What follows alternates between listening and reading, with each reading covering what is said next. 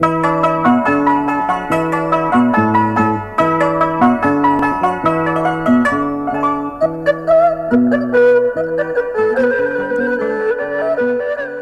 话成语又跟大家见面了，我是宋明翰。今天要跟大家分享的成语故事叫做“龙骧虎步”。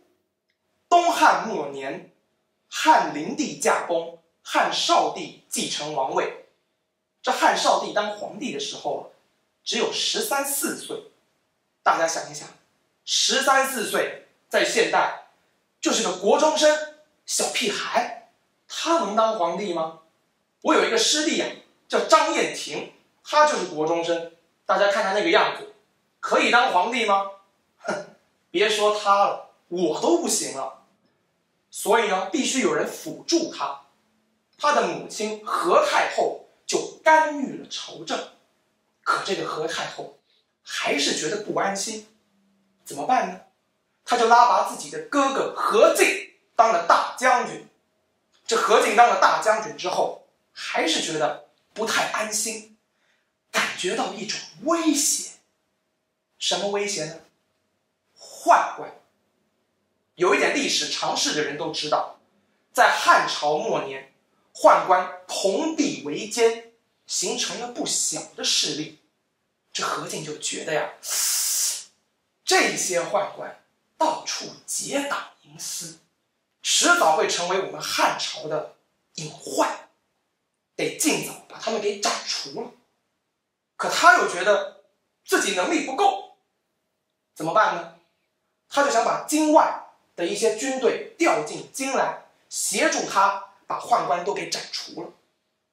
就把这个想法跟他的手下陈琳说了：“陈琳啊，我想把京外的一些军队，什么袁绍、袁术、董卓，都给调进京来，协助我把宦官都给斩除了。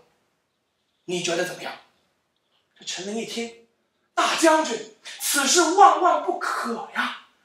您现在掌握着皇族之权，又掌握着军队大权，可以说是龙骧虎步啊！哦，什么意思？就是说，您可以像骏马一样高昂着头，像老虎一样迈着雄健的步伐，自由的进出朝廷，所有人都得高看您一眼啊！身势如日中天，没必要去把京城外面的军队都给调进来。您想啊，要是那些军队进来了以后不走，会有什么样的结果？您又该如何处置？很可惜，最后何进没有听进陈琳的谏言，他还是写了一封书信，想把京外的军队调进来。